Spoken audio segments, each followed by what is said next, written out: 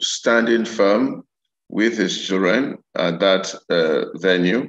Also, of course, Femi Kuti, who was complaining very seriously that his father had been struggling since he, Femi, was 13. And at that time, Femi was about 50 years old, meaning that uh, for the past 37 years, he's almost been the same issue.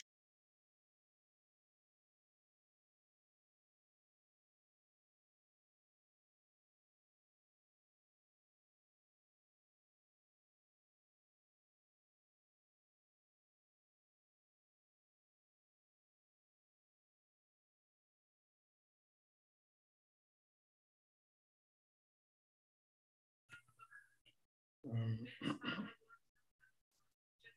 sorry, I think Pastor has somehow um, gone off. Um, but I think he was he's making the point about the video that we watched. So my name is Sonny. I uh, we are all here on the platform, and we're just going to review together this issue that has refused to go away. And the idea is to provide more education for ourselves in case whether we need to support government or not to remove this subsidy once and for all, if that's what's going to get us to where we need to get to.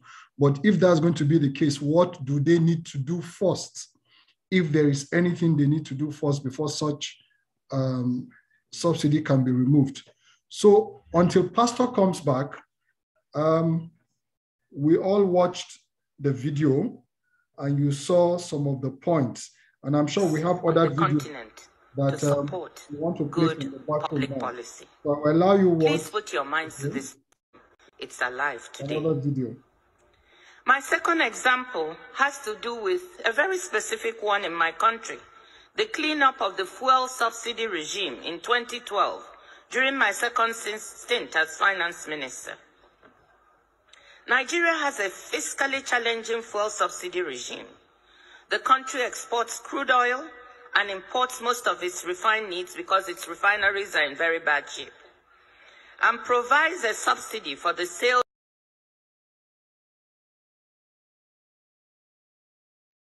on the continent to support good public policy. Please put your minds to this problem. It's alive.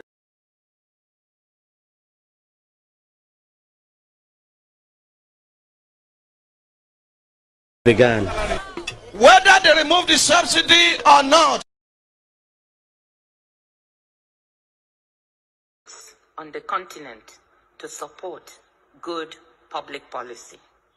Please put your minds to this problem. It's alive today. My second example has to do with a very specific one in my country the cleanup of the fuel subsidy regime in 2012 during my second stint as finance minister. Nigeria has a fiscally challenging fuel subsidy regime. The country exports crude oil and imports most of its refined needs because its refineries are in very bad shape, and provides a subsidy for the sales of refined oil at the pump. At the end of 2011, a total of 1.73 trillion naira US $11 billion equivalent was submitted as claims for subsidies by 143 marketers who were importing the product. These numbers seemed horrendously large compared to what I had last seen when I was in government in 2006, which was closer to $2 billion in subsidy. So we decided to audit these claims. We audited about $8.4 billion worth of claims, and we found $2.5 billion worth of fraud in these claims, i.e., many of these marketers were trying to claim $2.5 billion fraudulently. With the full backing of the president and the economic team, we decided that we were not going to entertain these claims or to pay. The pressure from the affected marketers was tremendous as we tried not to say, not only to say we would not pay, but also we would clean up the whole mechanism for the subsidy claims and put in place something more transparent, something clearer. This did not go down well with them.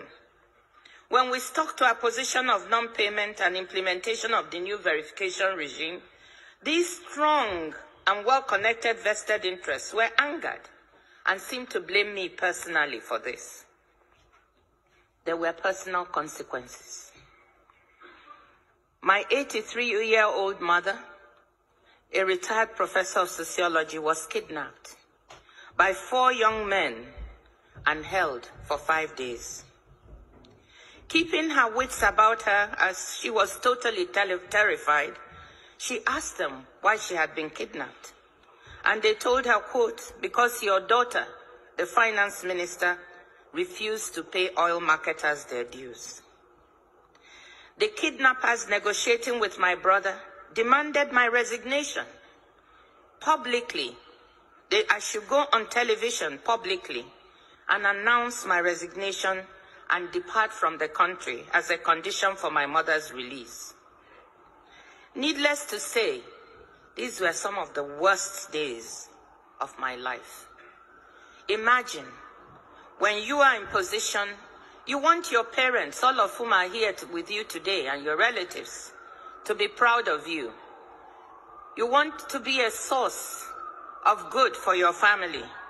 You can imagine how I felt sitting there and thinking, just because of trying to do something right, to implement a good bit of policy that was good for the country, this could lead to the taking of my mother's life. These were some of the worst days of my life. With my father's support, the firm resolve of the president, we all decided I should not give in to the blackmailers, and I refused to resign.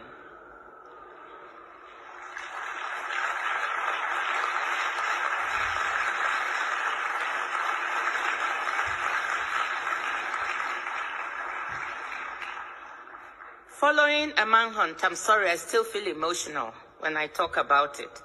And this story is not really publicly known, so this is probably the first time I'm giving the full details. Following a manhunt for my mother by police and security agencies, she was able to make a dramatic escape after five days in ca captivity where she had only been given water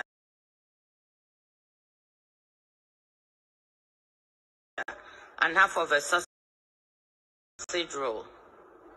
So here was a well-justified cleanup and reform of a policy, but implemented in a dangerous reform environment where the losers in the reform, well-entrenched vested interests decided to fight back to derail implementation.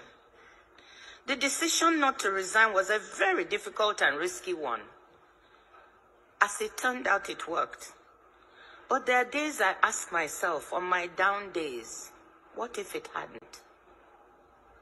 What if they had gone ahead and murdered my mother, as she overheard them planning to do, with one of their handlers on the phone? Could I have justified trading off firmness on policy and standing up to blackmailers, implementing a good piece of public policy for my mother's life?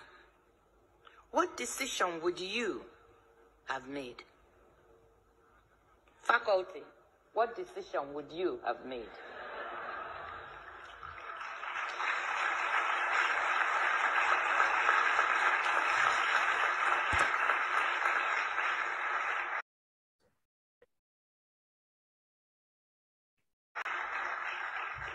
I know that one other brave hero, a woman I admire so much, brave activist and reformer Aung San Suu Kyi, was faced with an equally terrible decision.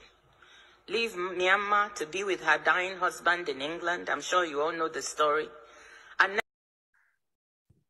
what decision would you have made? What decision would you have made? That was the former finance minister, Ngozi Okonjo-Iweala, talking of a very personal experience that almost threatened her 83 year old mother's life just because of this uh, fuel subsidy issue and fuel subsidy matter. And this thing had been going on, according to her, since 2006. when she was first finance minister. And at that time, the subsidy or the so-called subsidy was only $2 billion. By the time she was talking, we are talking $11 billion, 11.3 trillion naira at that exchange rate at the time, which must have been about 100 to 1 or so. Now at 550 or 560 to 1, it's unimaginable the amount of subsidy that we're going through. We're going to play you one or two more quick videos, and then I'm going to ask my friend and my brother, Mr. Olojede, to speak to this issue. As I said, he wants to explain to us, I'm going to have him explain to us what really is this fuel subsidy? What is it? And how did it originate? I hope he has the answers to this question. So let's look at this one very quickly. Another the video. government can achieve great things if they aren't so occupied with winning elections only. Subsidized government. The recent announcement by the federal government of Nigeria to increase the price of petrol from 168 naira to 348 naira per liter, despite the already biting hardship, is another sad note in the lifespan of the Buhari administration. I've been a crime Nigerians commit to vote in this government. Apart from the beautiful railway improvement, every other sector in Nigeria of today has deteriorated under this administration, from security, food, economy, forex, name it. Yet, we keep subsidizing the cost of governance as politicians and their associates consistently feed fat on our lean resources. And now, they want to create another opportunity for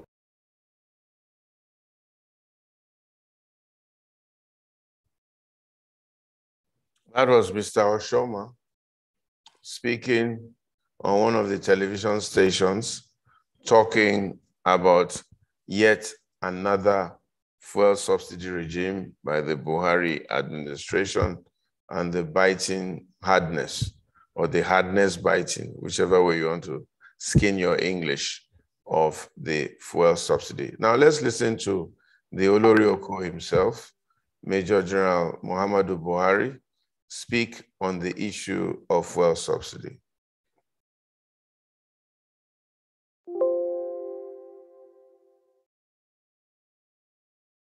Back office.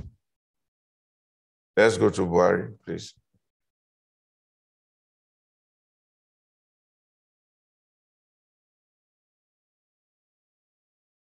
Well, oil subsidy, I, I told you that I've been in petroleum for three and a years.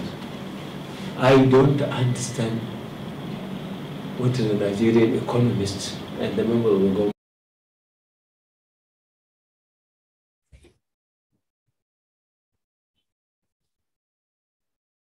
Well, oil subsidy, I, I told you that I've been in petroleum for three and a quarter years.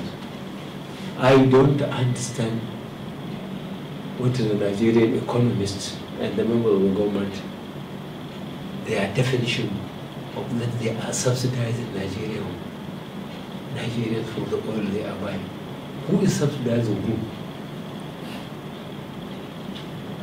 The Nigerian oil industry, petroleum industry, was developed with Nigerian capital. In fact, most of the expertise are Nigerians, if you go into the field. It's Nigerian capital, it's Nigerian oil.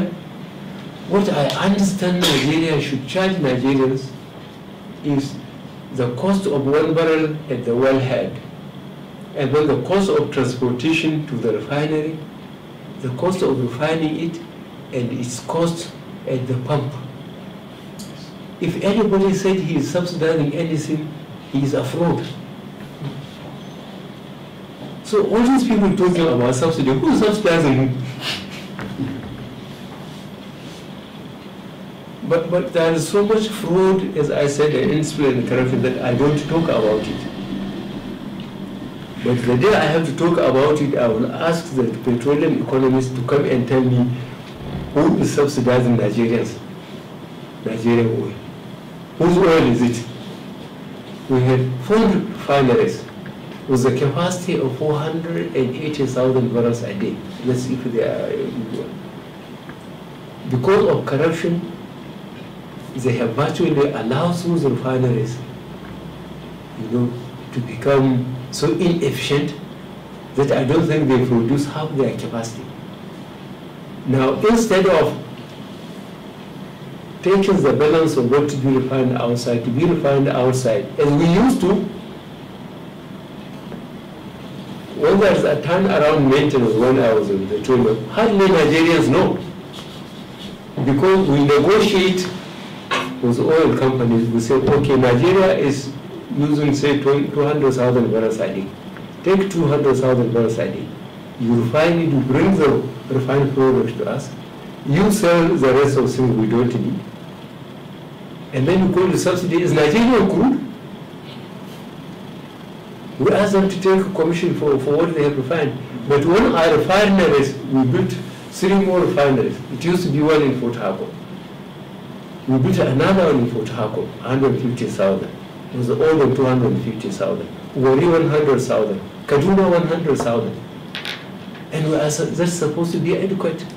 Now, even if you are taking 250,000 barrels to be refined outside, all you have to do is to pay the fee for this refining and you bring your own oil and sell it. And people say they are subsidizing. Who are they subsidizing? I don't understand it and I need the petroleum economists who will explain to me this question of subsidy. It's sheer fraud and corruption.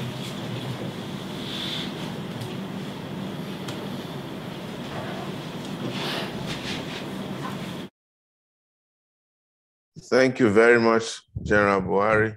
And it's nice for him to, for us to hear him say that the subsidy is fraud and corruption. And I think that video must have been taken around 2012, 2011, during the Jonathan regime, before he came in in 2015. And here we are, 2021, the sheer fraud and corruption has continued and now this time under his leadership. 2021, the refineries that were even doing 200,000 barrels a day in those days are no longer working. So in fact, they earn salaries of about eight something billion naira every month and produce nothing. And this one is now under the Buhari regime.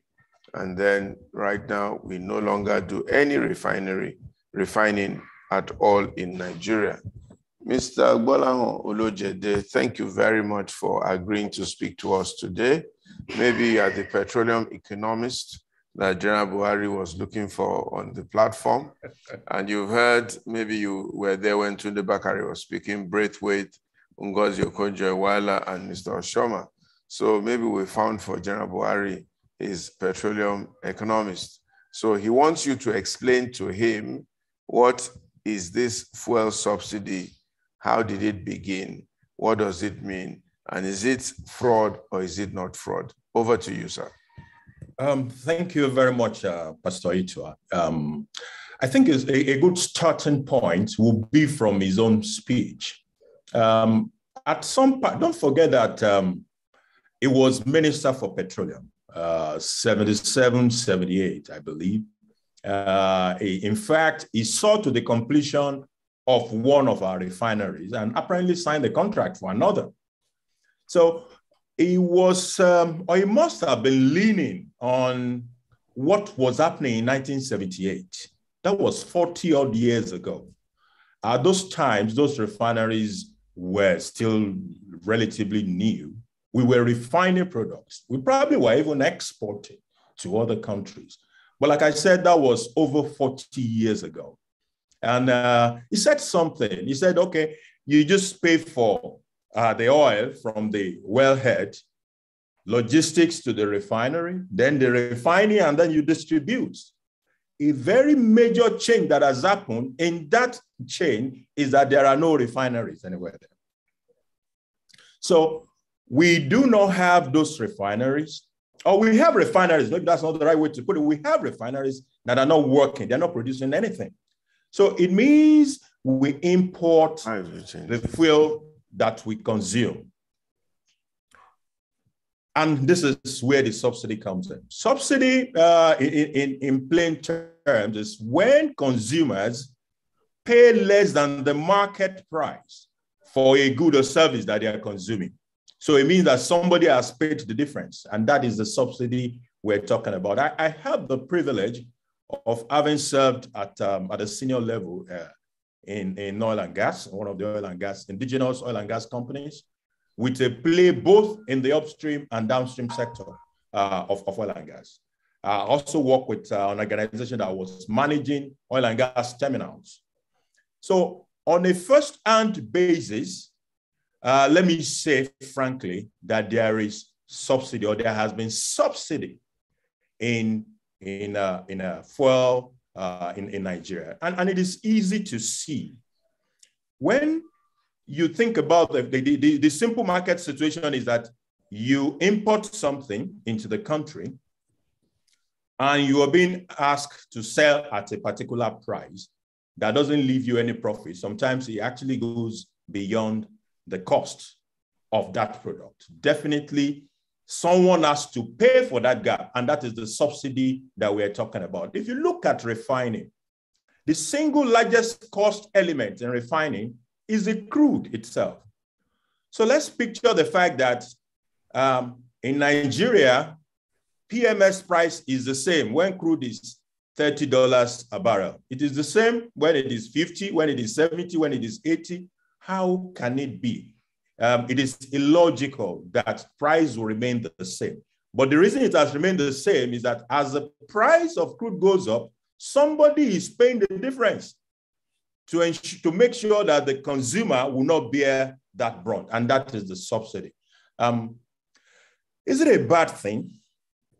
Uh, not exactly a bad thing to have subsidy. But because of the economic distortion that comes from subsidizing consumption, the widely accepted approach is not to subsidize consumption, but to subsidize production. So when you go into uh, a, re review of the US oil industry, for example, you will be amazed that there are subsidy issues in, in, in the US. But that subsidy is not at the pump. There are several legs in the, in, in the chain from the prospecting to the exploration to the production, you know, to the refining. So you can plug in subsidies in those uh, before you get to the consumption level. Those ones have more benefit to the economy than when you plug it at the consumption. At the consumption level, what you have done um, is to number one, largely subsidize members of the society who deserve no subsidy. Uh, um, somebody puts uh, three cars on the road every day. Papa, mama, and the children are all there on the road. Some of these cars are fuel guzzlers. Um, they probably take down 10,000 naira fuel in two days, in two and a half days. Uh, that is not the same as a guy who, when he buys 2,000 naira fuel in his uh, Okada, he can take him for more than a week. Now, I, with the bigger vehicles, I am being, I am a bigger beneficiary of that subsidy regime. That, that, that is one point. Number two is the graft that is involved. There is a huge black, the, the, the subsidy, fuel subsidy in Nigeria is a huge black hole of unaccountability. And I'm saying it with the benefit of someone who, is, who was in that industry. There is so much going on, and by privileged information, you cannot begin to talk about some privileged thing that you you you you you, you know about. But I can say emphatically that there is so much corruption that subsidy entails. We have people who will bring in vessels of fuel, they will sell it on uh, off, off Cotonou, you know, offshore Cotonou, and still file for subsidy claims in Nigeria and all the relevant agencies of government will be there to sign those documentation and it will become an obligation on the federal government of Nigeria for which it has, it has to pay. That is just one of the ways in which this uh, subsidy has become a major, major source of leakage. But you see, there are huge beneficiaries of the subsidy regime.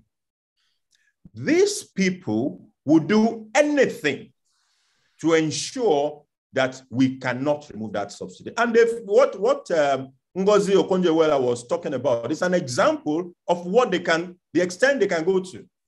They kidnapped her mom because she was getting into that space of subsidy. Anything that will say remove that subsidy or don't pay that subsidy any longer, the beneficiaries will do anything to ensure that you cannot pursue that, that, uh, that agenda. From media sponsorship, they can even sponsor protests. They can sponsor uh, uh, labor unrest. They can sponsor anything.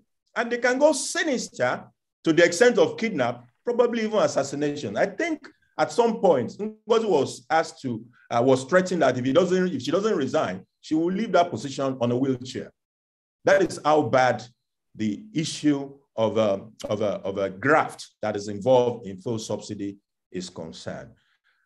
It's also a very difficult thing from a political perspective.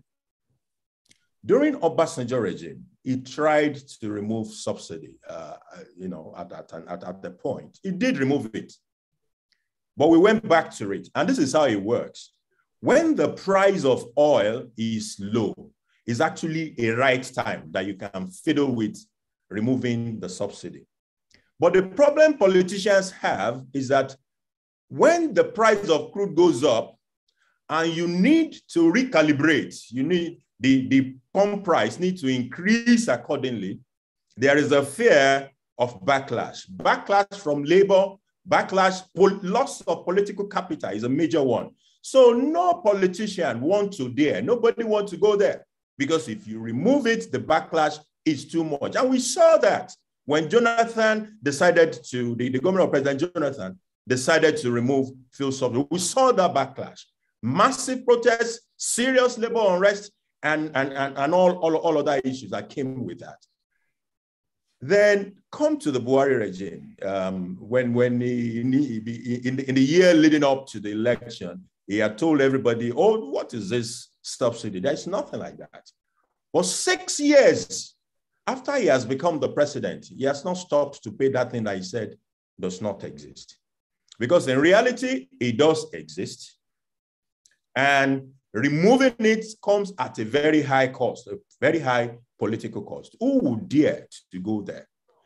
At some point, uh, I, he got persuaded by a former minister of uh, petroleum, I think former GMD, uh, forgotten his name now, the man from Delta State. Kachikwu. And he did remove it. Kachikwu. Kachikwu. Kachikwu. That was when price moved to 162. The, the current around the current price that we are right, maybe 165. But when oil price appreciated and we needed to recalibrate, nobody could confront that monster. So we let it be and we continue to run like that. Until sometimes last year, last about a year ago now, there was this news in the media that, uh, oh, we have now fully deregulated the downstream oil uh, uh, in Nigeria. But that was very dishonest because in reality, we did not. And it was easy to see why, um, you know, I mean, I challenged that particular uh, uh, news, news item then. Number one, we said we fully deregulated, but we still have uh, PEF, that's the Petroleum Equalization Fund, uh, which is meant to equalize the price of fuel in the south and in the north and every part of Nigeria. We still had PPPRA determining the price at which uh, PMS is to be sold. If you say you deregulate, why do you still have an agency telling us how much to sell the fuel? At the same time, we had a situation in which the sole importer of PMS remained PPMC. So if the market is deregulated, why do you have all those constraints? So it was obvious to uh, some segment of the society that there was no deregulation. And of course, about six months down the lane, uh, federal government had to come out to say, look, um, we did not deregulate. And, and those are some dishonesty uh, that came into that space. And, and, those, these things do not help matters at all because they erode the trust capital between the government and the governed.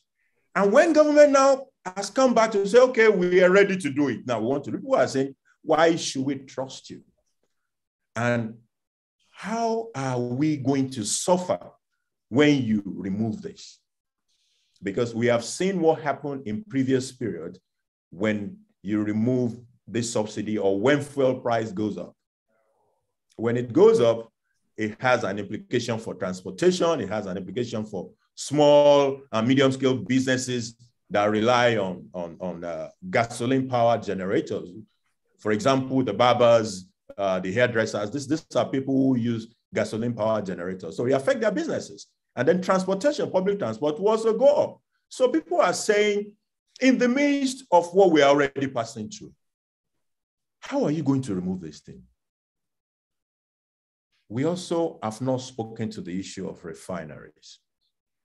Now, before the Dangote refineries, some Nigerians have also obtained refining licenses, but nobody built a refinery, apart from those little modular refineries that were focused mainly on diesel, because those are diesel is easier to handle. But PMS, you require certain level of technology and sophistication and certain level of capital and scale to, for it to make sense. So nobody was going to PMS at all.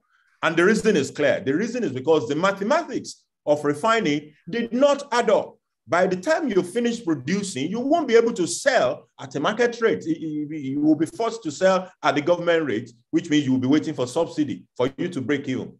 If you are going to be waiting for subsidy before you can refine, then you will not get financing for that kind of a project. So people had licenses all over the place. Nobody built refineries. At the same time, the government refineries were not working. Now, if government refineries were working, that might have helped significantly. But if government refineries are working, it is not in the interest of the subsidy beneficiaries.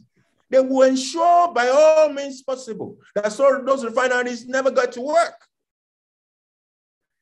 Now, we have a private refinery that is coming up that comes with its own benefit, which is uh, uh, the fact that some of the jobs that we have been exporting by virtue of importing PMS into the country can be retained here. As a matter of fact, that refinery might be the single largest uh, employer of labor by the time it finally opens. That also comes with some fear, and that is the fear of a monopoly. Now, when a single company is the provider of the total consumption in a country, uh, that is a monopoly. And there is a price control that comes with all, all another disadvantage that comes with that, which is why it will be a nice thing if the government refineries can also come on stream and complement or challenge or compete with what that uh, uh, uh, private sector refineries will be producing. There is beauty in competition because it helps with pricing matters. And one thing that has happened is that um, I think earlier this year, the federal government has, for the umpteenth time, contracted the revamp of those refineries, I think a couple of those refineries. Again, I've been hearing of this contracting of refineries, I would think since around uh, 2000. In the, no, not 2000, in the days of Abacha was the time, turn, turn around maintenance. So, so it must have been like 1998, 1997 that I've been hearing about uh, this, bringing this refinery back on, on, on, on speed. In fact, when I was in banking, there was a project we presented that the only reason that project could not be approved by the MCC was because we had this group, uh, managing director of NNPC, who had promised that all the refineries were going to start working. His name was Yaradua, I remember. You know, but till today, those refineries are still not working. Now, how much can we rely on the fact that for the umpteenth time, we now have a new award to bring those refineries on stream? Can we believe, do we believe that they will start working? for me as an individual, it's a sit down look matter. Until we see it happen, uh, it's, it's, it's, it's, it's, something that is difficult to follow. Should we remove subsidy? 100% so. We need to remove it. But what should we do if we're going to remove subsidy? What are the ways we can handle this to ensure that we are not transiting from fry pan to fire? That is the real question. The real question is not don't remove subsidy. We need to remove subsidy. We need to remove it. It is how do we make that happen such that it will not hurt us and rather it will translate into huge benefit in the medium to long term for Nigerians. Good. Thank you very, very much for that um, analysis. And I was really, really enjoying it and all that. So um, we're going to show another video briefly as to what we can do and what a nation can do potentially with her oil revenues and so on and so forth uh, in a few minutes, okay? But then let me ask you another question, my dear brother Bola. Um, why is it that Buhari promised or wanted to remove this fuel subsidy until today he has found it difficult to do so? Or what really could he have done to make it possible? Uh, in, in, my opinion, I don't even think he understood uh, that space any longer. He had um, a knowledge that was about 35 years old when he was Minister of Petroleum, 77, 78 thereabout. Uh, during that time, there was no subsidy issues. The refineries were working well. So apparently he carried that belief into what he was saying that who is subsidizing who? Just take production from the wellhead and take it to the refinery. Which refineries? There were no refineries. They were not producing anything. You know, so uh, when he came in, the reality must have set in. He had this very strong conviction, though, that uh, uh, anything that affects uh, that will increase the pump price will further impoverish the people. It is, it is, he had that belief. In, in a way, um, I don't think it's a bad thing to think about the poor, to say, oh, don't do that because if you do it, it will further impoverish these people. But for you to stand on that, you need to properly understand the dynamics, the prevailing dynamics of that industry. And that was what Kachikwu struggled to persuade him of all through his tenure. In fact, if there's somebody I really pity uh, in his role in this matter, it was, it was because he knew exactly what the problems were. He knew what we needed to do, uh, but he had a problem with uh, the, the powers that be accepting that we needed to remove that subsidy. Look at look at it. In August in, in, in the US, uh, a, a, liter a, a, liter of fuel on, on the average was about 0.93. That's about 93 cents.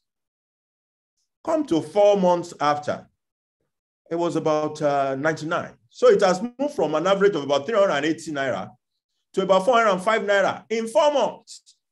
And that is what you get when you remove subsidy because it is the market price that will recalibrate the price for you. Then what is going on in the market that will recalibrate your price for you.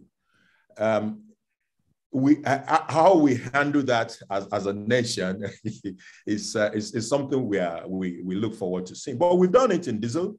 Um, maybe we can as well try it in PMS.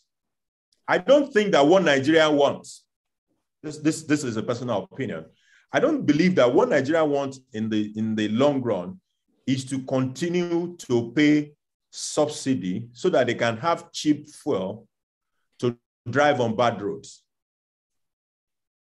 Good. But do you think that the removal of the subsidy will actually have a very serious adverse effect on our economy and uh, affect the well being of our people and so on and so forth? Do you really think so? Or is it a myth more than a reality and other countries in the world that are not subsidizing their fuel, how are they managing? Good. The in, in the short term, there is a shock to the economy. Um, and it will affect transportation costs, it will affect certain things. So some prices will go up. This short term, I believe, is what uh, what is bringing up the issue of $5,000 palliative for between six to 12 months uh, you know, that is what I believe the federal government is trying to kill with that. Whether 5,000 naira palliative uh, is the right way to go, that's another discussion. But it is that short term effect that the federal government is trying to kill with that. In the medium term, let's, let's think about this. If we're saying we're spending, there are a few figures out there, 1 trillion on subsidy in a year, 1 trillion on subsidy in a year. For the year 2021, as at uh, last month, November, when uh, the Minister for Works was talking, the total release, the total capital expenditure release for works and housing was 189 billion. 189. And meanwhile, we have paid 1 trillion in subsidy. It goes without saying that if we have a honest motive and we are committed to translating the subsidy gains into changing our infrastructure space, we can do it. Imagine what will happen to works, the Ministry of Works that has been receiving 189 billion. If we channel, I'm just hypothetically saying, if that, that works ministry now gets a trillion, what will happen? We can easily transform totally the infrastructure space of this country. In fact, we can decide not to go, not to take it to uh, every other department or every other ministry and concentrate on transport infrastructure. Say, because this, let's say transport and power, if we save from subsidy and take these savings and put it in transport and power infrastructure, we can transform that space totally in the medium term. So the problem we have to deal with is how do we handle the short-term shock to the economy, especially to the lower rung of the ladder, who will, you know, have to deal with in, in, in increase uh, in, transport costs and, and other inflationary issues. Let me play a video, maybe to support uh, what you have just said um, about uh, the benefits of actually removing the subsidy and reallocating that resource to infrastructure, especially transport infrastructure. That might even uh, better serve the people than them taking away one trillion uh, and most of it going into the. I don't know how. Go ahead, please. You did this in 50 I don't know how you did this in 50 years. You look at history. Who does this? Show me anybody else that has done this in 50 years. I'm, I'm waiting. Mm-hmm. Let, show them to me. This wasn't done by money. Money, money doesn't produce visions. Visions produce money. You've had leadership over here that were visionaries great visionaries, and their vision was more about the people than the money because you can't accomplish this in 50 years without loving your people first because the people are the ones that's benefiting from this. Look at your health care. Look at your road system. Look at your highway system. Look at your airports. Who does this in 50 years? But who benefits? You're going to care about those people. It's something to be learned about what's been done over here that could be duplicated in the world because there's people with this much money. You just don't have people with this much love for their people.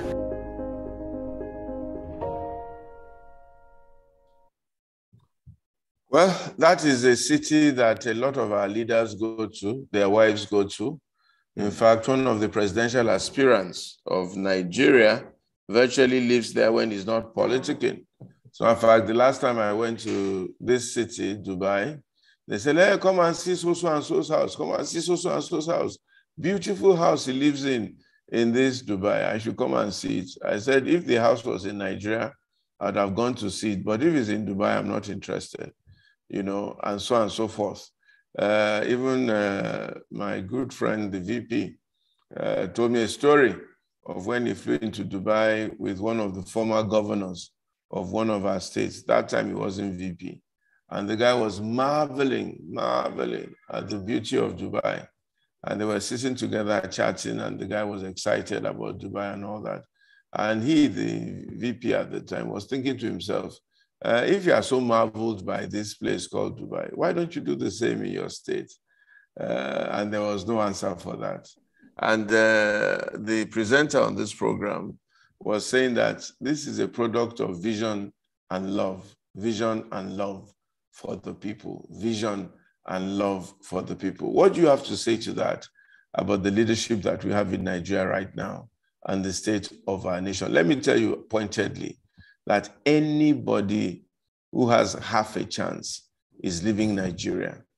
And those who are not living because they are probably making money off the system have two passports and are ready to live at the nearest provocation or sign that the whole thing is about to fail. What do you have to say to that? Well, um, it's, it's, quite unfortunate uh, where we have uh, brought ourselves. Uh, a friend of mine had uh, called me a couple of days ago to complain about the cold in the part of UK where he is. I mean, he, he also cold. left. Very, very year. cold. And he, earlier this year, he left. He left earlier, earlier this, this year. So this is probably his first real winter in that in that place. and he said by 4:30, it is pitch dark in the UK. You know, uh, the sun has gone out. There are you could have several days uh, without even seeing the sun, and it could be drizzling from morning till night, and by 4:30 it is dark. And what I told him was, so does that tell you something about the need for us to make our own country better? So that we give people a choice. The choice is for me to decide whether I want to go and stay at uh, two degrees or minus four degrees, or whether I like my Lagos. The choice to say whether I want my, my uh, uh, the day not to become darkness until seven o'clock, or whether I'm comfortable with 4:30 p.m. darkness. You know, so but we have not done that, um, and, and, and it bothers on, on leadership.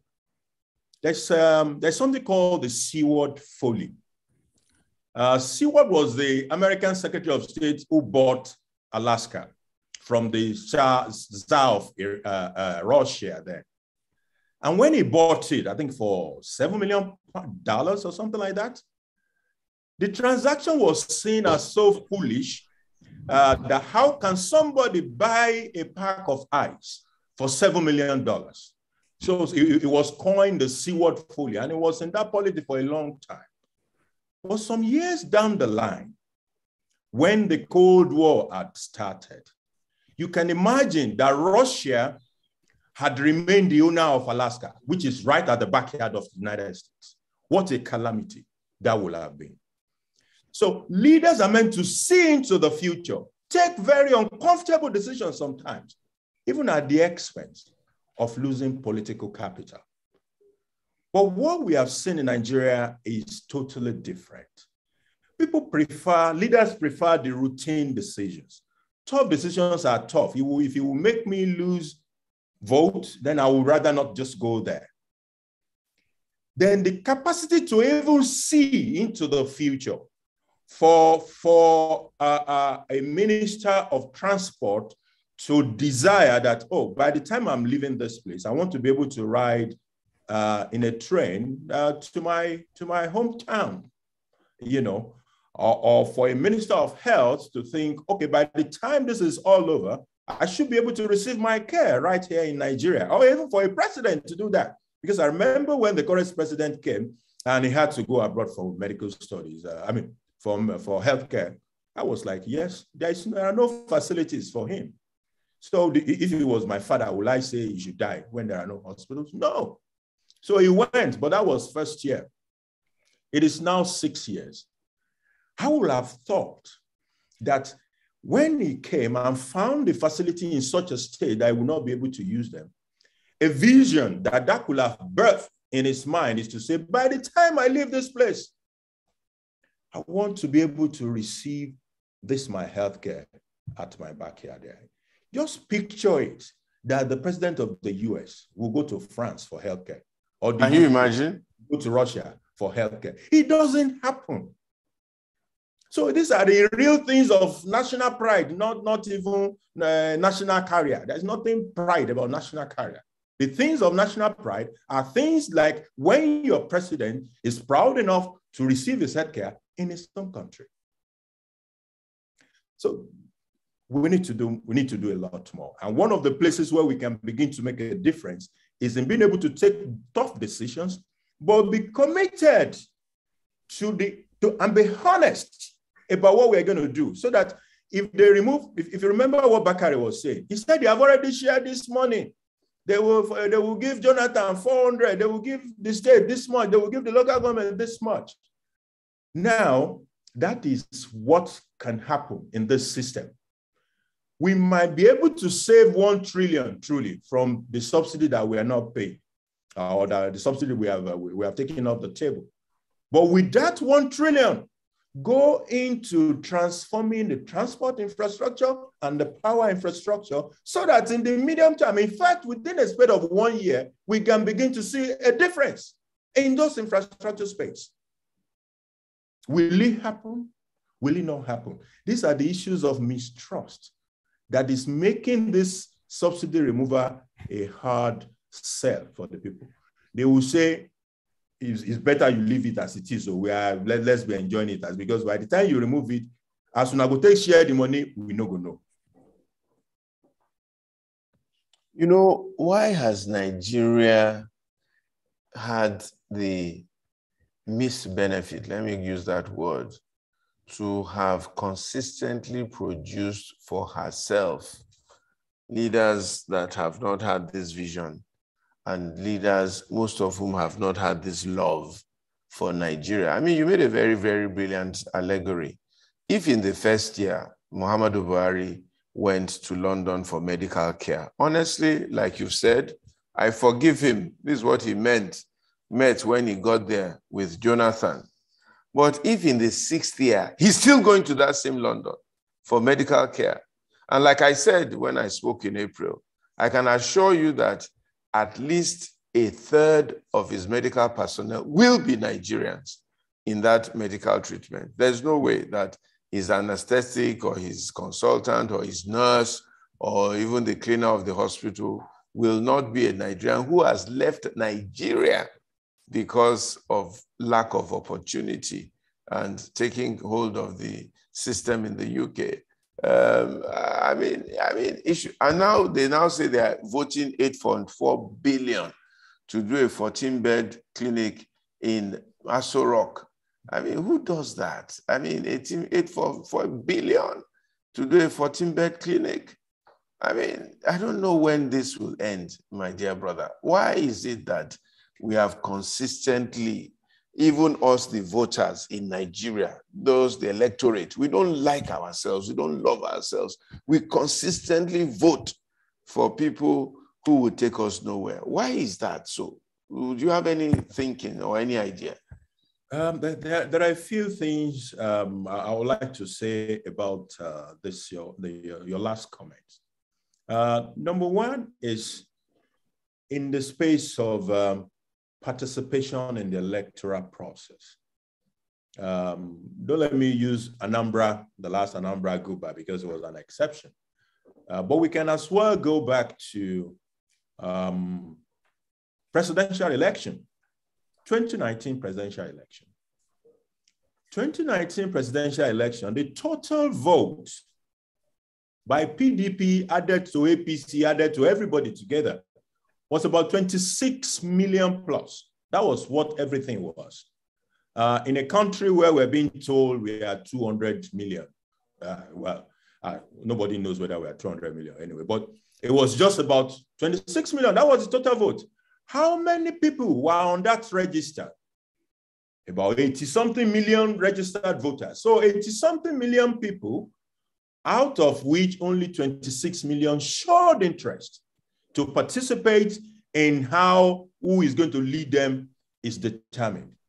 You might have thought, oh, maybe it's an illiteracy thing. How about Lagos?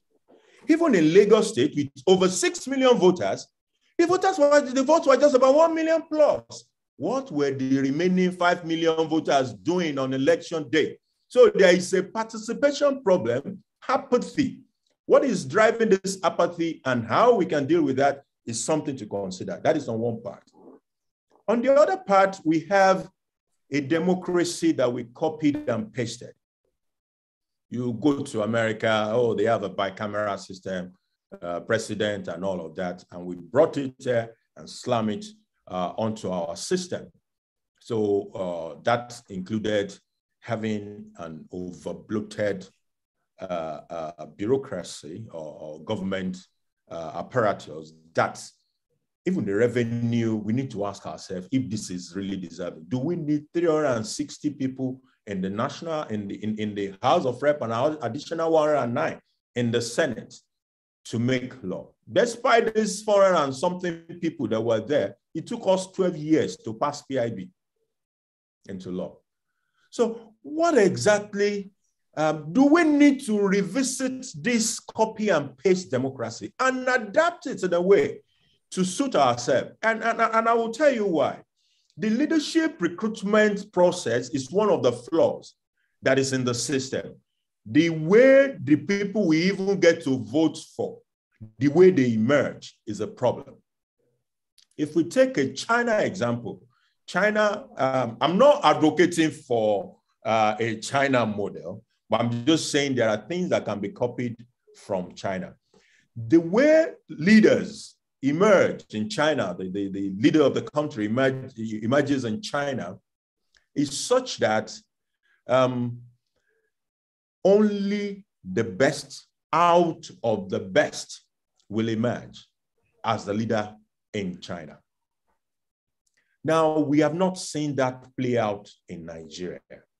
Rather, what we see is only, maybe most of the time, the person that some powers that be are foisted on the system are those that we merge as a candidate that we have to vote for.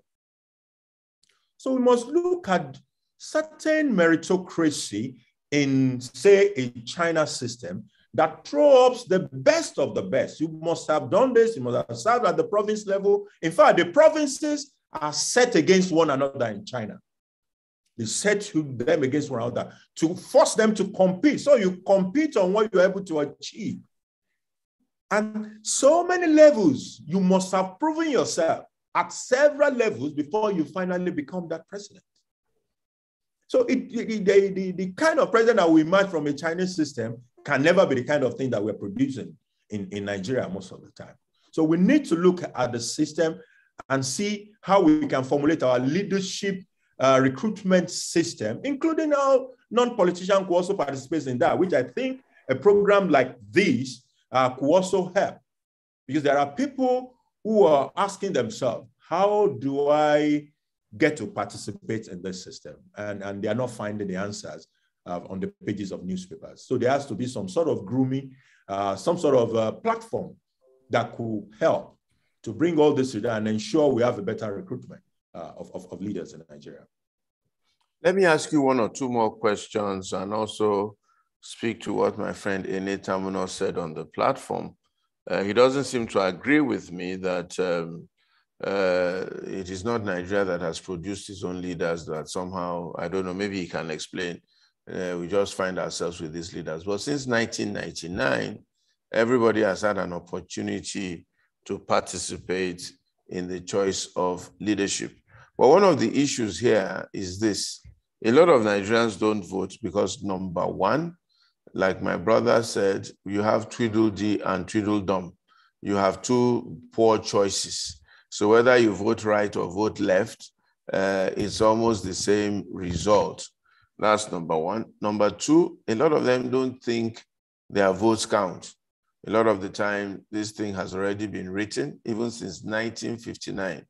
There's this book that, I, that I've been reading, the Harold Smith story, that speaks about how even the British wrote the elections in 1959. They, they maneuvered it, they, they organized it to suit what they wanted to leave behind in Nigeria, and not necessarily the will and the interest of the people, even from the census. And then number three, they feel that, um, uh, first of all, number one, uh, and a lot of them don't even know, they can't connect their livelihood, their economy, their state of life with political leadership. They can't connect. There's a massive amount of ignorance among a certain class of people uh, in, in Nigeria. Um, so let me ask you two questions what can we do on this platform?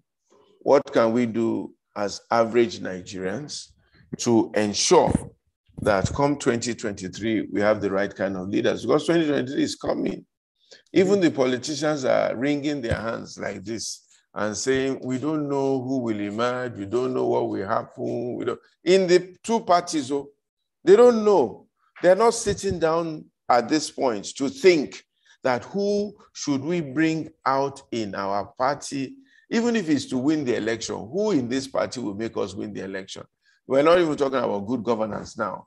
Who mm. will make us win the election? And then who will then give us good governance in Nigeria? They're not even talking. They're waiting for people to show up and emerge and show themselves and present themselves and say, vote for me. Who does that? Mm. No real serious party does that. If you are serious, that you are just waiting that somebody among the party will show up and then you will say, okay, let him come for. No, a party that wants to win an election, people will gather together in the party and say, what is our strategy to win this election? And which one of our leaders is best to put forward to win this uh, election? I'm amazed at the way they are looking, both PDP and APC. And some people are saying, don't even think of a third force. It can never work it's too expensive. Nobody will look that way. You can't make it work, blah, blah, blah, blah, blah, blah, blah, blah. Let me pick your brain and ask you, first of all, what do we do to ensure that we don't get faced with bad choices at the end of the day from these two so-called political parties? Number two, what can we do in anticipation of this? And then number three, this so-called third or fourth force, is it impossible? It cannot work? Are we doomed to always be constrained with the choices that APC or PDP give us? And if we're not careful, maybe it's only APC that we'll be faced with in the near future because PDP just doesn't seem to get its act together. Let me find out from you what you think, and then we'll throw the floor open for a few questions and then I'll ask you a few final questions on, on fuel subsidy and we will close. Please go ahead. Okay, um, on what can we do? Uh, one of the things we can do um, is um, in the space of in the space of citizens education. Um, a platform like this is a veritable platform for citizen education. Look, look, look at it this way. Um, politicians says or they try to make you believe that your vote doesn't count, but they are willing to pay for it. Who pays for what doesn't have a value? Why do people carry sacks of money to go and start sharing five, 5,000 to people to buy votes if the vote doesn't count? But when they tell you that your vote doesn't count, you lose interest. You don't even bother to show up. And they are on the winning side when you don't come to that polling booth.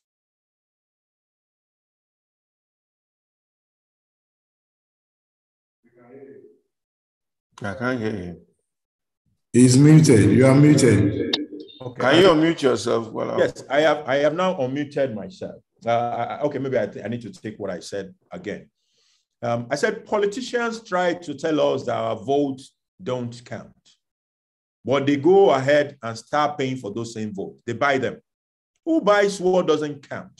And that is a fundamental question we must ask ourselves. The electoral process, as flawed as it is, has actually gradually improved over the years. There was a time you could literally write those votes and nobody would know anything. You just write anything. Now, as technology is improving, as uh, biometric is getting into the, the place, as we're cleaning up the voters' registers, things are beginning to change. People say Obaseki will not win Edo now because the, the ruling party was there. Uh, the every you know everything was against him, and you know, but he, he won that election by seventy thousand, over seventy thousand votes. Now, we also saw what happened recently in Anambra. We shouted about electronic transmission of result. It has happened. We protest. I mean, some party members have been also been talking about direct primaries. It appears as if it will also happen. So the electoral process, despite the fact that it is still flawed, has improved dramatically over the years. We should not allow politicians to deceive us that our votes don't count, and therefore we stay off the process. Rather, If you're of voting age, grab your voter's card and be ready to use it. How would that have changed things in the 2019 election? In 2019, the two primary guys were the current president and Alhaji Atiku. But there were other candidates. For example, there were people who liked Kingsley Moghalu. And I asked myself, so why didn't you vote for him if you think you like him that much? They said, oh, he cannot win. We know he cannot win. It's either of these two guys that will win the election. He, uh, he has no um, grassroots, uh, no, how do, how do they put it now? He has no structure, no grassroots structure that can deliver the vote. Nigerians must be willing to serve in the space of what they believe. That grassroots that you say a third or fourth force does not have, we can help to build it. Let's go back to that statistics in 2019 presidential election. Total votes 26 million plus, 26 million plus. Voters 80 million. What that shows is that even if APC and PDP took that their 26 million, there are still 50 million votes that never showed up at the polling booth. And that 50 million is actually capable of delivering a third or a fourth force. And you will just totally ignore the, uh, the, the two big ones. But because there's a mindset that that will never work, everything has to be based on those two major parties which is one thing that normally happens in, in most uh, democracies anyway. Nations tend to gravitate towards uh, a, a two-party system. But if these two-party systems are not giving us what we want, we must begin to look at a third force that can deliver. And what will make that happen is participation. We need increased participation in that, in, in that, in that process to be able to deliver a third or a fourth force uh, for, for our people. So it is doable. And if we just involve you and I and all of us participating in that process. Well, very good. You just got yourself a job as the campaign manager for the third and the fourth force. So you are going. so I'm going to be calling you because I know one or two people want to do a third and a fourth force. And I'm going to be telling them that I know the man that can get that 50 million votes that is lying idle. And he has the strategy for it. I know you haven't told us everything, and I don't want you to do that on this platform, but I'm going to call you and you have to get involved. Because part of the problem in Nigeria is that nobody wants to really get involved. They don't want to stick out their neck. Nobody wants to take the risk. Nobody wants to lose their life. And they keep saying, ah, I have my child, my children, who will look after them, blah, blah, blah. You know, you can't get power, you can't get leadership if you don't want to sacrifice. That's one of the things that people do not know, and they're not willing. So the conclusion I came to with a lady that I was speaking to before this platform is that we, the average Nigerian is not really serious. They're not really serious. They're just they still want to chop one bed. They still want to get married. They still want to enjoy life. They still want to go to London and come back. They don't want to change Nigeria. But you know, this Nigeria, this Africa, is where the British and everybody else that we're going to look for were trying to enter. They were trying to migrate here because of the better environment that is here. It's ironic that we have to beg them and threaten them to leave South Africa. And if not for the mosquito, they wouldn't have left Nigeria.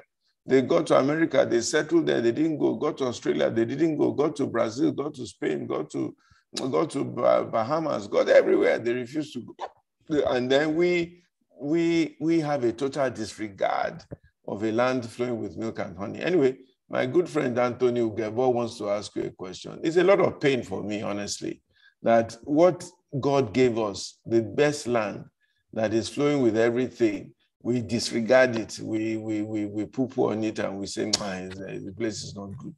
What, which land is better than Africa? Tell me, which land is better than Africa? Where the sun shines 12 hours and the moon shines 12 hours. You can predict your weather.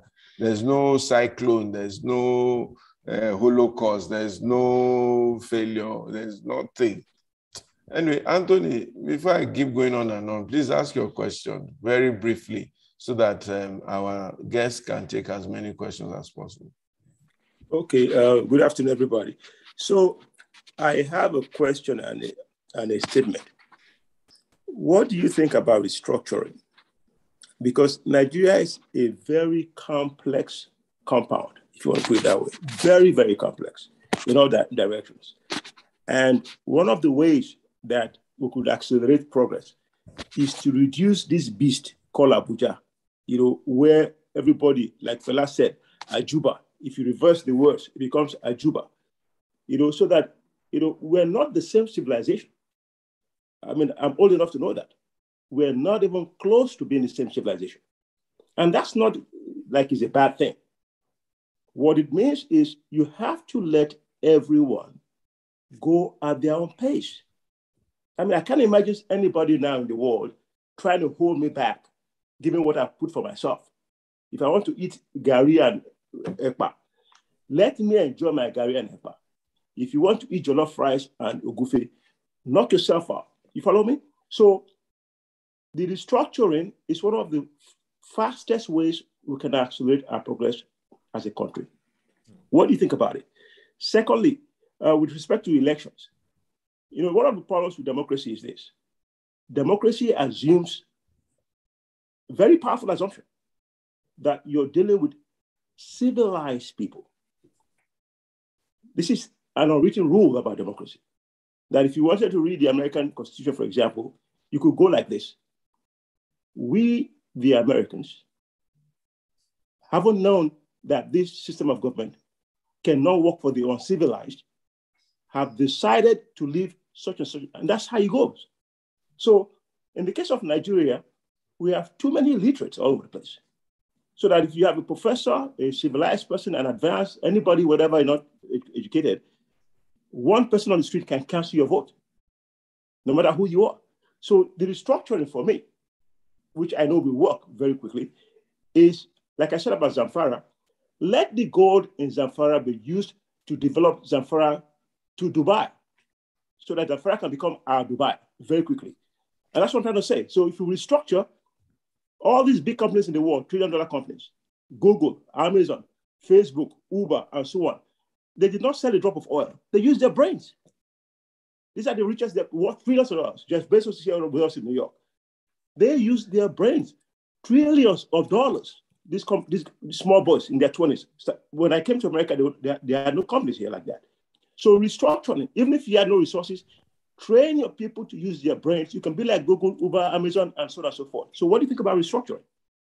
Thank you. Um, it's, thank you very much. Um, I, I'm, I'm, passionate about the issue of restructuring. Um, there has been attempts to put all sort of confusion in that space. They will say, oh, define what restructuring is. Uh, let's first of all do this. Let's first of all do that.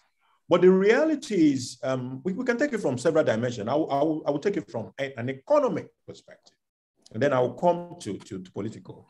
From an economic perspective, um, I, I have reviewed revenues in Nigeria for, for some years. And you'll be amazed at how you have states in Nigeria that depend on the on Abuja for 88% of what they spend. So every month, they send their commissioner to finance to Abuja. He goes and comes back with some billions. And that is what they live on. As a state, they themselves cannot gather 15% of what they spend. Now, the money from Abuja, where does it come from? Four oil states Every other person is the marginal producer. Maybe by the time you put them together, they will give us like 5% of the rest. So like 95% of our oil come from four states. Then you have some tax states that are big in taxes. Incidentally, apart from Lagos and Ogun, you also have some of these same oil states being the tax states as well, because of the location of the oil companies in those states. So the remaining states have largely leaned on these other states.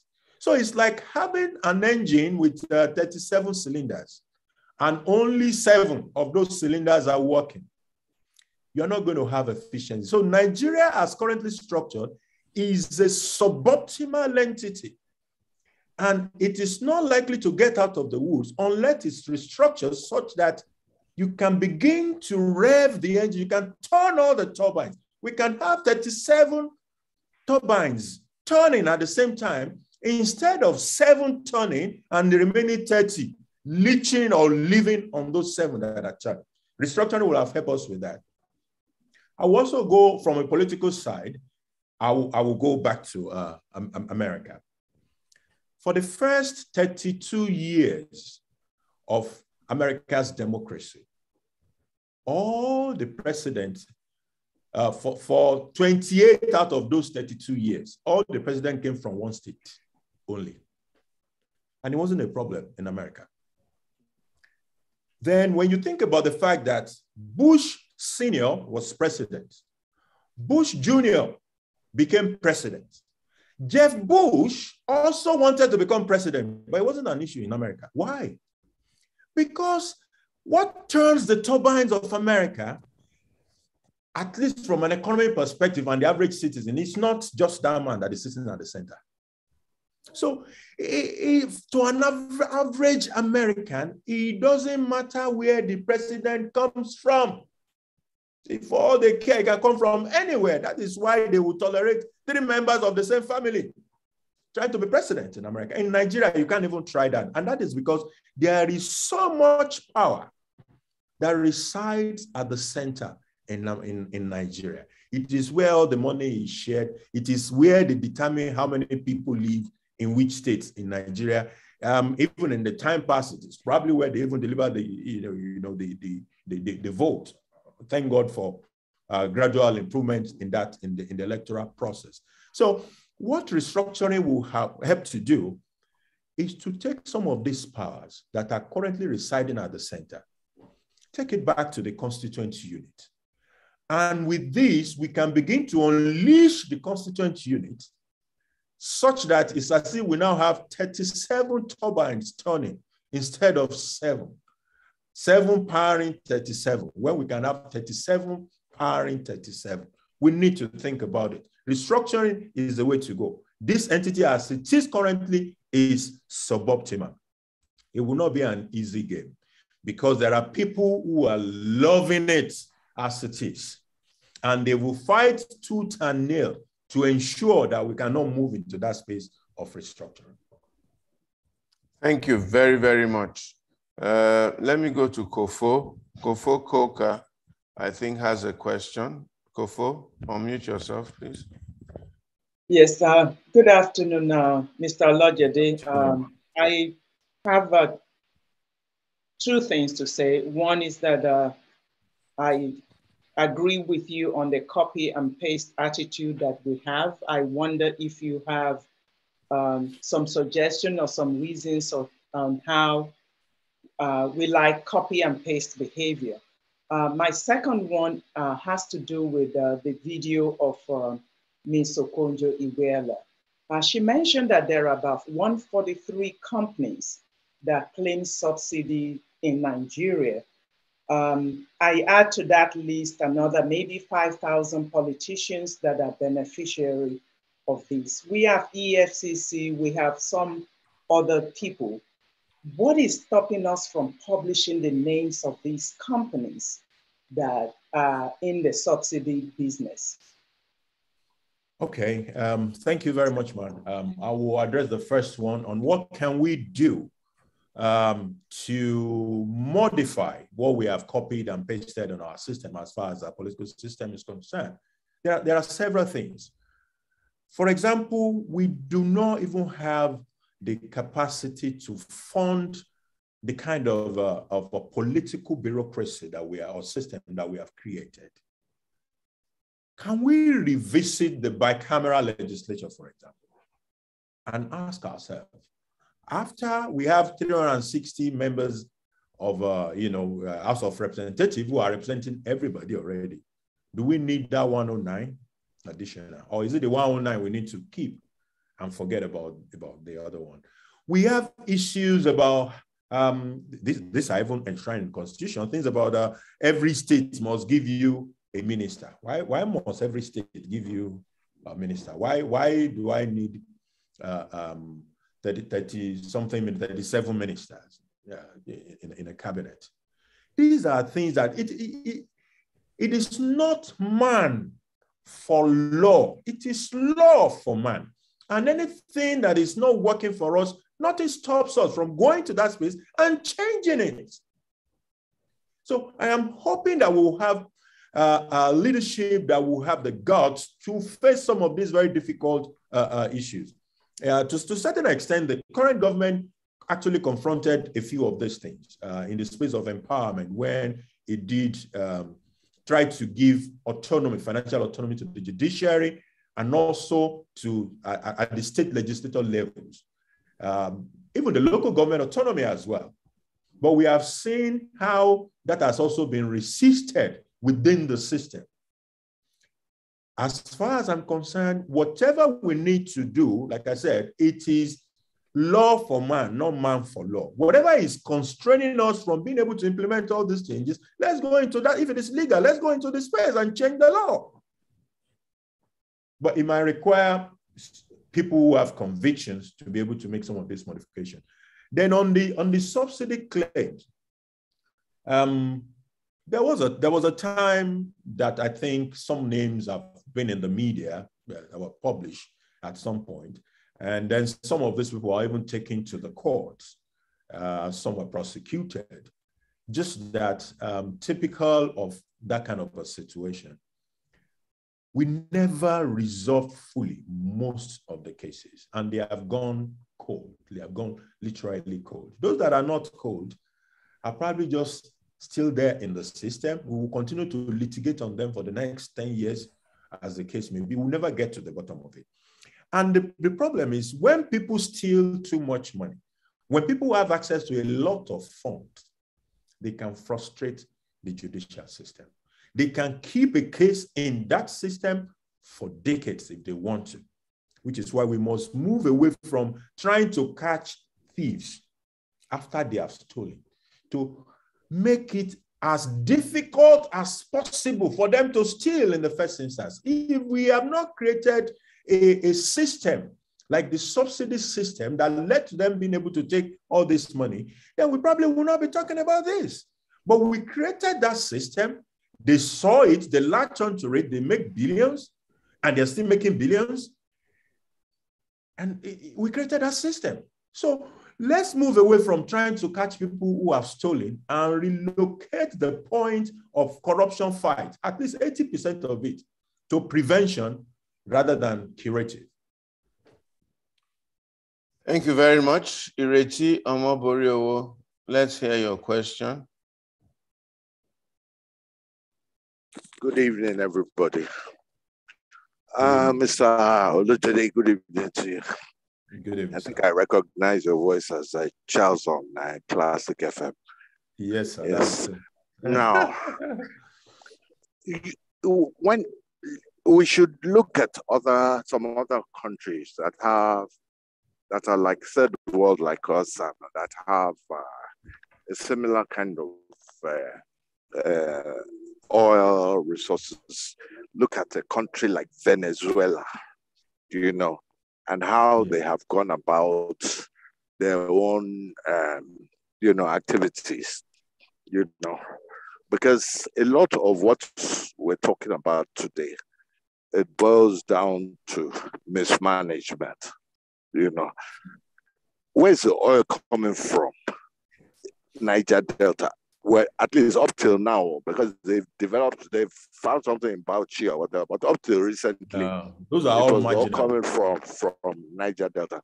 When you travel to that place, look at the state of the place, because to be honest, I, I, everything the, the oil we sell on a daily basis is not as much as the oil that is stolen on a daily basis. you know, True. so the whole thing has there's so much rigor mortis in the whole thing, and Niger you cannot expect them to to to to to to to be the, the area where they're pumping it, and the place is so undeveloped. You know, we have to get our thinking right. So, you know, as far back as the 1980s, someone had approached me in London that uh, he can get OPL, oil prospecting license. That's what, you know, I think during the Babangida regime, they had started giving out oil prospecting license to, to, to individuals and companies. Originally, in, in the 70, early 70s, the only person that had an uh, was uh, Ado Ibrahim, the man from Kwara State, the Kwara King. You know, but the whole thing has been so disorganized. That, So, to be honest with you, I think our mental orientation has a lot to do because if if the Niger Delta was was was a decent place and everything to visit and everything, and you're not just just you know just milking them dry because they're, they're squeezing blood out of them more or less. You know, so, so how, what are you suggesting? This or, or, uh, this or Mr. Or, Fadams, or, what are you suggesting? Yeah, let, let me and let me finish. So what I'm saying is that is, is this is it a blessing to us or a curse? Because if that's the only thing we're producing, and you now want to throw it on the market that people have to pick, I mean, what's the benefit of being in Nigeria? God bless you, sir. thank, thank you very much, Sam. Um, it's, it's, um, it's an interesting perspective you have brought into uh, the discussion. Um, and, and it's also the argument uh, of, of a segment of the people, which, which to say, look, so what are we benefiting? Um, on the global petrol price uh, platform, there are about 168 countries on that platform. If you go to global petrol prices, you will see the, the um, how much a liter of petrol is sold for, at least by today that you have yesterday's uh, price or prices on that uh, platform you'll be surprised that Nigeria is number 161 out of 168 uh, on price. So only seven countries in the world, in fact, only six countries out of 168 sells PMS cheaper than Nigeria. Only seven, only six out of 168. So, um, and, some of these, uh, some of these uh, countries that sell cheaper than us, they can actually afford it. We cannot afford it. One of them is Kuwait, for example. So you have Kuwait, uh, you have a country like, uh, um, I think, Iran on that. You have Venezuela as well.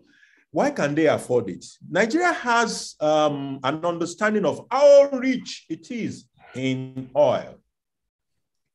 And we may be carrying it too far. Number one, Nigeria does not feature on the list of number one to 10 oil producers in the world. Nigeria's name is not there. Number two, by the time you convert Nigeria's oil production to per capita basis, Nigeria is about number 40 in per capita oil production in the world. So we may even need to reduce, be modest about uh, how we found how much oil we produce as, as, as, a country. On per capita basis, we're nowhere, number 40 thereabout. That's, that's how we rank in the world. So if we also look around us, um, Nigeria has more or less been financing other countries' fuel consumption by virtue of selling what we are selling right now. It's an advantage. Um, somebody might argue that why can't we uh, let the custom do their work and ensure that nobody can carry uh, fuel out of Nigeria? But I'm, I'm not so sure how that is going to work. So today, because oil is about 450 in Ghana or thereabout, um, if I can get fuel from Nigeria where it is 165 to Ghana, I know I'm going to make a lot of money. I know I'm going to make money if I take it to Cotonou, if I take it to Chad, or anywhere I take it to around Nigeria, I am going to make a lot of money. And, and, and, and that is why we are, as, we, as at today, we are financing, we are subsidizing not just Nigeria, but also some of the consumption that are happening around, around us in Nigeria. We need to get out of that space. I have a strong conviction that what Nigeria needs is not cheap fuel to ride their cars on bad roads. Rather, have a, a, a, a, a moderately priced uh, fuel and get better road to ride your vehicles on. What Nigeria need is not a cheap fuel to put in the I better pass my neighbor generator at his backyard. What he needs is proper light coming out from the right source so that he doesn't even need that I better pass my neighbor generator.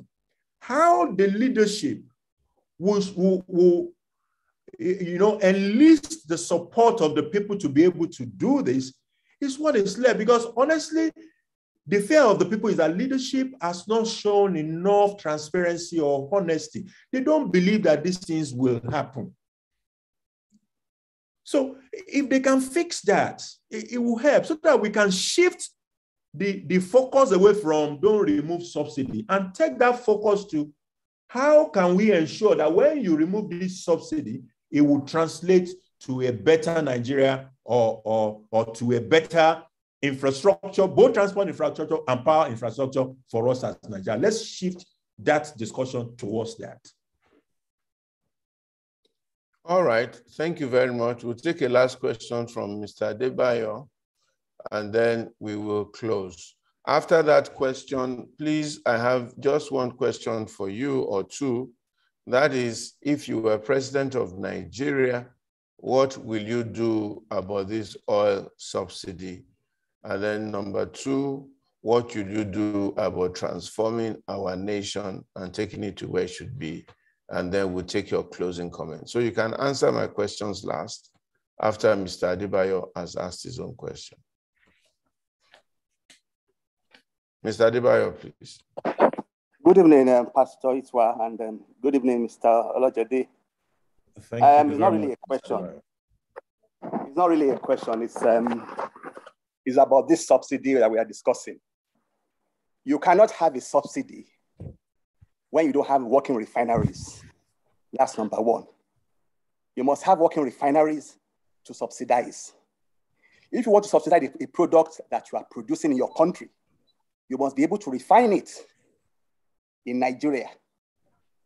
Now, people are taking this crude oil, they're taking it out to Europe at the European price and the American price, the world market price. And then they are bringing the refined product back into Nigeria. Mm-hmm. How do you want to subsidize? It can work. Your currency is not stable. The exchange rate is not favorable. So it doesn't work. So all that subsidy is just a scam that the leadership is doing all over. All the presidents, they're all involved. And all those people that are involved in uh, uh, all the energy companies, I don't want to mention any particular name, they know what is going on. Your refineries must work before you can have subsidy for your people and to fix your country and make life easier for your people and stop them from trying to leave the country. That is, that is the main, um, um, main thing that must be done. In Saudi Arabia, they subsidize things they can subsidize their fuel because their refineries are working. So you can determine your internal price. Say, okay, I have this product. I will sell it to my people at this price. I'm not selling to them at the world market price. But what we are doing now, we're now taking the oil out. We go and refine it. We have refineries that we can fix, those refineries in Port Harcourt, uh, Warri, and Kaduna, they can be repaired. A refinery is not a car. Even if it's a car, all you have to do is bring the experts, let them come and bring the, the necessary equipment and uh, uh, machineries as spare parts that they need and upgrade it. And they can function. So everything that they are doing is just sabotage because of people want to make foreign exchange and keep money abroad and go and live the La Grande Ville life, living a very lovely life outside the country. That's what they are just interested in. They're not interested in Nigeria. They just want to come and make Nigeria a place where they make money and then they take the money to Dubai or take it to London or take it to Paris. I don't want to do that. I have spoken on the television for so many years. I've written so many articles. But once they've seen my own stand, nobody wants to support you because they say you are going against the tide. But that is the only way to fix Nigeria. If everybody wants to just go there and then make money and get out of the country, the country cannot be fixed. The uh, lecturers are asking for extra salaries every now and then. What is causing it? Is the economic management of this, of the of, of, of the uh, of, of Nigeria, the way they, they are managing the economy, including the central bank, the way they devalue the currency, the way they have devalued the money, if you devalue and people ask for extra salaries within a couple of months, you devalue again, then we are back to the same thing. People are back on strike. They start striking again. So there is no subsidy you can give your, your country unless you have the refineries. So you can determine, okay, I want to sell my crude oil to my own people. I can sell it at two naira if I want. It's my product. If I even like, I can give it for free. And I will only be exporting the one I want to export to make money. The one for the country that was Gaddafi was doing in Libya. He was subsidizing everything for his people because they had the oil, they had the refineries, and they had the money. So the oil was going out. And when those stubborn European countries were trying to meddle in his affairs, he will starve, he will starve them of, uh, of crude, which would now up the price. So it's, it's, it's how you have to understand international politics. Many of these things, uh, President Jonathan didn't understand it. And um, I don't, I was, I, I, I even felt that uh, when he was there, the situation of the uh, pollution in the Delta became worse. It became okay, worse at the end of the you, day. It became worse. So, thank you very thank much. Uh, thank you, Mr. Adebayo. Yeah, um, please. Um, let, me, let me quickly comment respond to that and the closing remarks and my questions. Um, he, he, had said uh, there was there is no subsidy. There is indeed subsidy, uh, and I'm saying it from the perspective of uh, someone who at some point was in that industry. I was group chief operating officer for an indigenous oil company in Nigeria, and I can tell you, as a matter of fact, that there is subsidy, and the subsidy is easy by the time you bring your fuel, the amount you will have loved to sell it, government say you cannot sell it, you sell it at an amount that is lower. So somebody pays you that difference and you go away. That is the subsidy, and it exists. Um, he had also mentioned about how, because we don't have a refinery, uh, is why America is the top producer in the world. Um, I think about 12 million barrels per day. Um, America has subsidy, but it is not at the fuel pump. It's not at the pump uh, the subsidy are planted uh, in a, a, way up in the chain. And the fuel price, PMS price in America, as at the end of November, is an equivalent of about 405 naira. So, and they have mega refineries there. So it's not a matter of the fact that you have mega, once you have refineries, your fuel will be automatically cheap. That's not how it works. If it is so, America with all these uh, mega refineries should not be selling fuel at a price of 405 naira. The cost of the pump price of PMS in Saudi Arabia is higher than Nigeria. And Saudi Arabia is literally has it like a pipe flowing anywhere. The three top producers in the world, US, Russia, and Saudi Arabia, the pump price of, of fuel is higher than Nigeria. And Nigeria is not even on the list of the top 10 producers.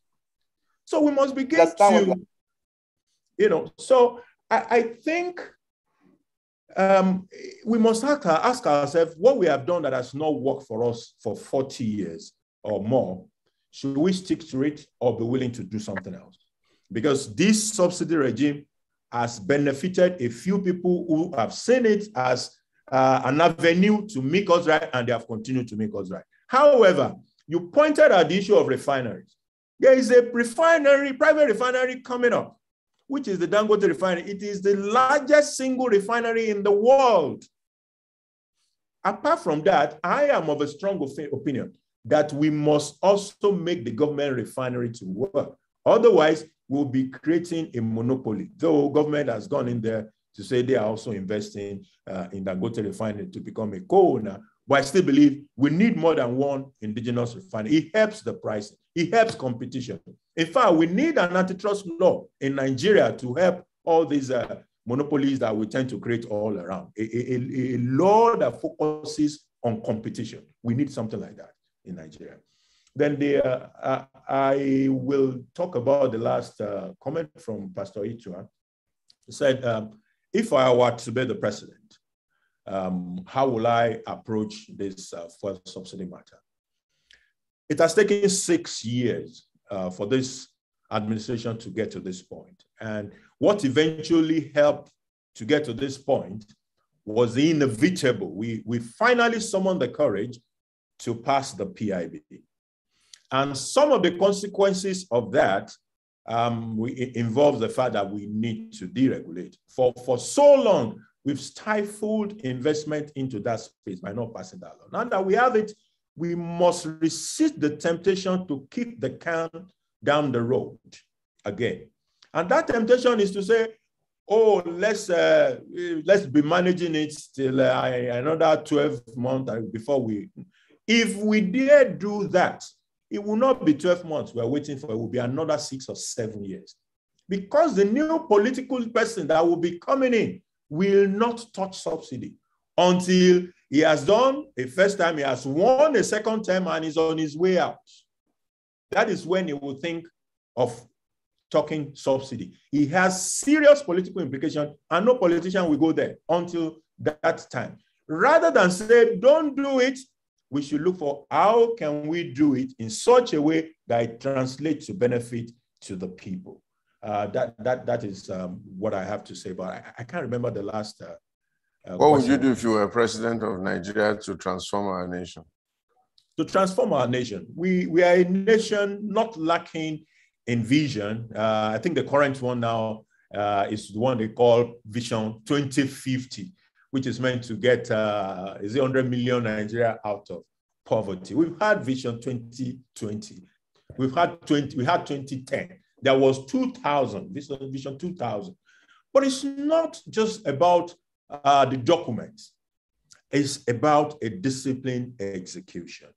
Uh, in certain area, this administration did that when it comes to uh, completing certain projects that have been abandoned or started way back, uh, which they are, they are bringing into um, materialization. Those things are, but there is a lot to be done. And my focus, if I were president of Nigeria, is in Number one, vision. Vision that will carry the people along. The people must know where you are taking them to. And then the execution discipline to be able to say, these are the things we said we were going to do. This is when we said we were going to do them. Let's do them and arrive at that junction. Once we're able to do that, you will build trust and that trust capital is very important for people to continue to follow you and help you to deliver whatever you seek to deliver. Without trust, which is what is lacking in the political space, there'll be very little anybody can do. So, vision, uh, uh, carrying people along with the vision, and then execution discipline that will build trust with the people uh, will, will, be the, my focus as a, as a president. Salojede, thank you so much. The Lord bless you and keep you. The Lord strengthen you, continue to give you wisdom and continue to make you one of the bastions that will help to build this great and wonderful nation, Nigeria. Thank you for your time. I want to thank everybody that has been on the platform today. Thank you for spending this time with us on the platform. We'll be back same time next week at five o'clock to take on yet another set of issues that concern Nigeria. And I'll be having a very, very interesting guest who hopefully will be in from the US to try and speak to us on these matters. Mr. Olojede, there's a job waiting for you to drive the fourth force. so when you're ready, we'll send you your employment letter. Thank no, you. No so No. In full ground. We must make this thing work. We must make it work. We must look for somebody to take us to where we're going. Thank you very much. Warm regards to the family. God yes, bless you all. Thank you. Yes, yes sir.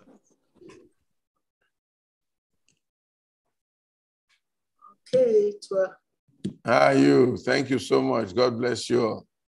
Okay. Thank you, Auntie Kofo. God bless you. God Thank bless you, you too. God bless you for being there. Good evening, Pastor. Good evening. Good evening, everybody. God bless you. Good evening. Good evening, Pastor.